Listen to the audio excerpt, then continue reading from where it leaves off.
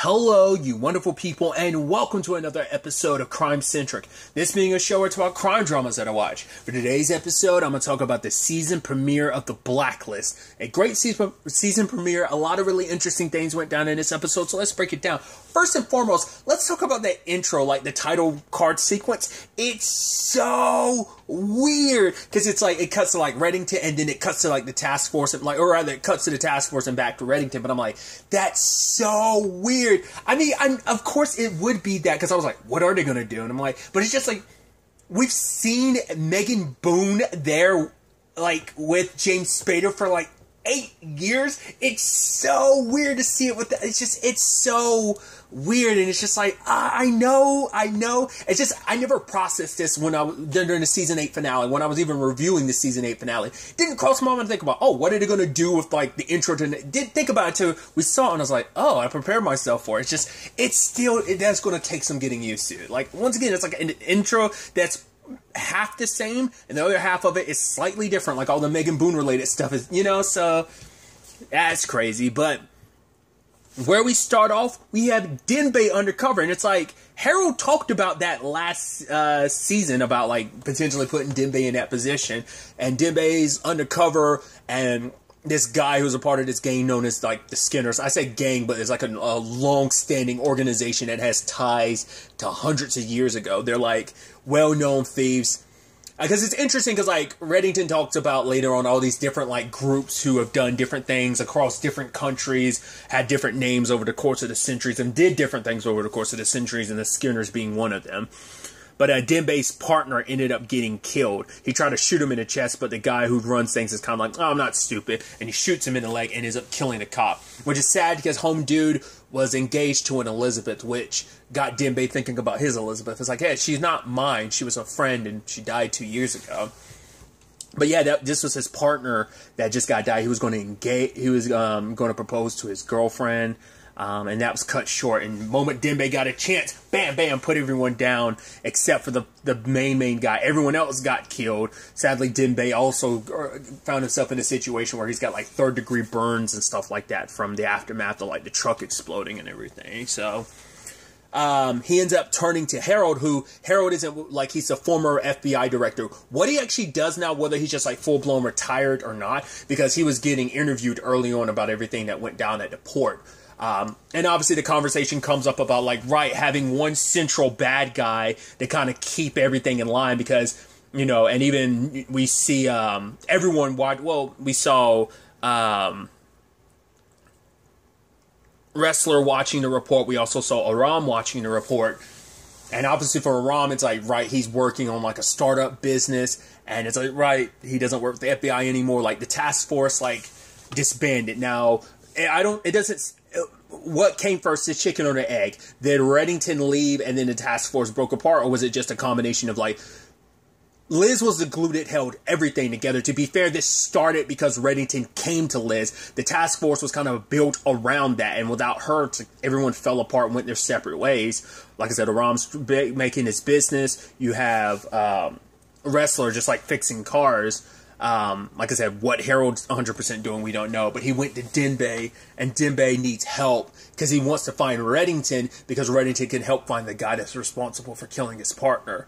Uh, and so I love that uh, Harold is like, "Oh, I'm too old for this." When he finds out, like, he has to go all the way to Cuba just to find Reddington, and he, the bartender, which is uh, David uh, Zayas, um, Zayas, I'm sure probably I'm butchering his last name, um, because it's you know uh, the reboot or kind of reboot slash continuation is popping up next month. The thing I know David the most from is the best from the most from the best is uh, Angel from um, Dexter. So it's like yeah, uh, I believe that was his character's name. Once again, I still need to start my rewatch because I have not seen Dexter in like forever.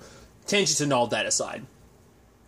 So turns out he gets drugged wakes up in a place and this like oh like this shaman lady is like rubbing an egg on him and it's like oh crack it open in the water what does it look like? It's um cloudy. She's like oh yeah it's like the sun coming out through the clouds. It's a good sign good sign. And it meets with reddington which to see reddington like Dave, uh, James Spader to have like completely shaved because at least you know he usually like has it kind of buzzed on the sides. For him to like be completely shaven is kind of like it's almost like weird to look at because I'm like I'm not used to seeing him like fully shaven like that, you know. Um, now, whether his conditions necessarily gotten better, we don't know. To be fair, he it has been two years so, but he has like shaman people to help him. Obviously, he doesn't want to get involved with the case because he's like, if I do, I'm going to like if I come back, I'm going to come back. It's kind of like a John Wick thing of like, yeah, just when I, you know, uh, I think I'm back, but not wanting to be back. I, you know, circumstances have led to it, so he doesn't want to get mixed up in it, but uh, he has to help because this is also for Dembe's sake too. So but it turns out this is for the Skinners, and obviously uh, you have Harold going and collecting most of the team. He we find uh, Park. She's married. She's not doing field work, but kind of gets called into you know help out with this case anyway. Um, lying to her husband about like yeah I'm, I'm not doing any field work because obviously she knows what it does to her. We've seen like how like it can get the best of her and how she can lose her temper. We've already seen that. Um, poor Aram is trying to give his peach and his uh, pitch and everything, and Cooper picks. The, he's like, "Oh, I hope I didn't get you at a bad time." He's like, "No, you didn't. You caught me at the absolute worst time." But they're kind of reunited. Ressler wants nothing to do with it because it's like, yeah, if they're getting any help from Reddington, he doesn't want it. It's like, yeah, like I'm, I'm had to put a big no on it, which it's like at the end of the day, Ressler blames Reddington for what happened to Liz. And I thought was the line I thought was so interesting was from Aram where he was like, "Oh yeah, but at, we all do, like you know." But I think he's like, but at the end of the day, I think all three of us here can recognize that Mr. Reddington blames himself as well, and because of that, I can I can forgive him for like what happened to Liz because he blames himself. That's why he's doing all this self isolation, you know. So because I don't fully know because like I brought up earlier, like Cooper was referencing, like, you know, Reddington's position of, like, right, him being a criminal that he is, keeping everyone else in line. But he's still been keeping up his criminal empire. He kind of has no choice because he doesn't have a successor to take over it anymore. But I was curious, like, has he been continuing his criminal business? If not, like, it seems like, because the way he's talking to Vincent later on, it does seem like he's still got his hands in feet in all things criminal activity. Like he can't back down because he wanted to pass everything on the list, but obviously that's no longer an option anymore. So. Um, it's just interesting because he talks to Vincent later because Vincent, he's the head of the Skinners who had to pass it on to his successor. And even Reddington's like, yeah, I know what it's like to pick the wrong successor and just things kind of blowing up in your face. Didn't pick the wrong successor. It's just things kind of fell out, out played out the way they did. And now there's no one to fill that role. I'm still curious, like, what he's going to do about it. Because, like, I'll jump ahead and say it. There's part of me that's like, you don't think he's going to make. At first, I was like, you don't think he'll make Ressler his successor? I'm like, no. But I was like, not unless he makes the entire task force his successor. Like, them as a whole. Like, he might, te- he might get Harold, Aram, Park, and Ressler to and even Dembe to run it together as a unit. Because that way it's not just in one person. Like you know it's like because of who they are. They are people that uh, Liz loved. And you know it's like you know the torch can't be passed on to Liz. It can be passed on to the people that will carry on her will do what she needed which plays a role in the episode but we'll get to that soon enough um, maybe the I feel like it also would potentially go to Agnes at some point because that's why I was wondering like, are we going to like time skip a lot? It's like no, we time skip two years. Doesn't mean that window doesn't leave itself open to be like, yo, like eventually it could be Agnes's. Now whether they go down that route, I don't know. I doubt I doubt Reddington will do that considering like, well, sadly you got your everything you've ever done was for the sake of protecting your daughter and your granddaughter, and now it's like, yeah, your daughter's dead, and it's you weren't able to protect her, even though you were setting her up to be your successor. Successor, because like everything you've ever done in your entire life has been for the purpose of protecting your daughter. You loved her, you kept her, you kept secrets that maybe would have helped her. Things wouldn't have played out the way they did, but it's like you know the sad ending regardless i think it was a necessary thing of you know everything had to play out a certain way for Liz to become who she became. Uh, for better or for worse, I think it. I, I don't know. Eh, that's a whole tirade I was about to go on and just about like I think it was a necessary thing for Liz to be who she was in the end, and I think the journey versus the destination type of situation. It's not about the destination; it's about the journey and everything she went through to forge her into who she was. Um, despite her mistakes and everything, she tried to do the right thing. Uh, despite like her like hell bent on like getting revenge against Red. But I think I don't, I don't know. I just kind of leave it at that. It's just like I think everything was a necessary evil to get to the point where Liz was. You know, that's where I kind of leave it at. But um, obviously they don't have like full blown government backing. They don't have the resources that they did, had before. They're actually all in it alone to the point like Cooper, like obviously Cooper got into the field a couple times. This is him like full blown active in the field. So uh, Reddington did come to check on Dembe, but he tried not to bother Dembe. Because both times, uh, Dembe was out of it. The first time, like, Dembe was completely out of it. The second time, Dembe was kind of waking up, but Reddington didn't want to stick around. Um, because it turns out the last time they talked to each other was like a year and a half ago. But also, Reddington is, um, like, it turns out Cooper is the one that's taken in Agnes and is raising her. And obviously, Reddington wants to see her, but he can't. And it makes sense because, and like, Reddington completely understands that because it's like, right, I got too close to Liz, hence why we got the entire series that we've gotten so far, and now why she's dead now. It's because of me. Like, he's like, I, I get it, you don't want to take the chance that if I get close to Agnes, everything I did was to protect Liz, and yes, you know that I'm going to do everything to protect Agnes, but you don't want to take the chance that Agnes might suffer the same fate as both of her parents. Because let's face it, her mom and her dad are dead because of Reddington. Granted, it's. There's complicated circumstances because it's like directly yet indirectly connected to Reddington and the reason why Tom's dead, it, but it's directly connected because like Kate, it's just it, it, there's layers and layers to it. Like obviously, Liz is the most direct, but Tom is too. So it's like he's responsible for both of your parents being dead. So of course, it's just you know. So it's not like Reddington fights it. It's just it sucks because he wants to see her because now that like because you were the you were you are always in a very important thing to me, but it's like you were the most important thing to the most important person to me. Like Liz meant the world to uh, Reddington, and it's like, of course, like you've you've always meant the world to me too. I want to protect you as well, but now like I have to give you double everything. I have to make up for the fact is your mom, your dad can't be here for you. So more so like I'm triple double, I'm tripling down on caring about you. You are everything. And so even his new Dembe, um, uh, she seems even more like she's even seems even more of the silent type than Dembe did. Um, God, they were definitely going to get like. I mean, Dembe like is always he spoke when he like. It's kind of like he always speaks when he kind of like when the time arises. And uh, but um, his new person obviously doesn't know anything about it. She's like, "How? Who is she to you?" And it's like, "Oh, he, he's like, uh, she's everything to me." Because um, she's like, yeah, you haven't told me what she is to you. And it's like, well, you're about to find out now. She's everything. As he's watching uh, Agnes at like a soccer game. So, and even she calls Cooper out for it. It's like, you keeping a girl for him is cruel. Do you want to be cruel? And, you know, kind of leaves afterwards. But essentially, I love that whole, like, fake scenario created uh, to meet with, like, the previous head of the, the um, Skinners. And that was, uh, that dude fits it. And the reason why him and Reddington had a falling out is like because of one word. It's like one word. It's like yes, X, X. Oh, his ex-wife, which wasn't actually his ex-wife at the time. So they set up the whole thing of like uh,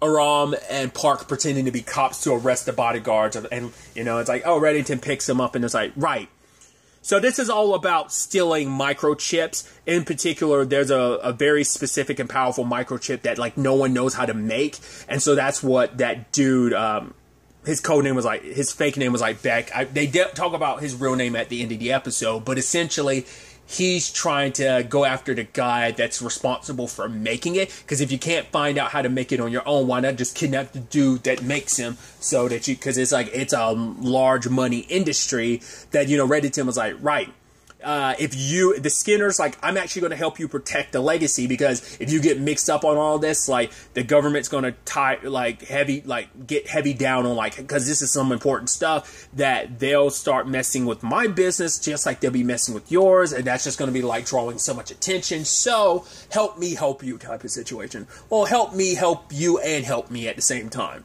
So situation they find themselves in, even to the point Ressler uh, decides to take part in it because Aram shows up at the guy he's trying to do the pitch for. Like, I love that the guy's wife is like, no, I give him 40 seconds. And he tries to do the pitch, but it's not working. So while the guy's busy, like, entertaining his guests before he comes back, Aram gets on his computer, starts hacking. The guy's like, or you get on my computer. It's like, get out of here. He's like, I gotta take this call. Do not answer that phone. And Aram does it anyway. I love it. I was like, man, Cooper's just screwing you at every turn. It's like every time you're having some leeway, he's just kind of like, yeah, I need you to do this thing for me right now. He's even like, I'm not at my desk right now. I can't hack stuff for you. And it's like, nah, find a way to do it. Give me the name. It's like, you're so, come on. I've got a life that you're kind of screwing up right now.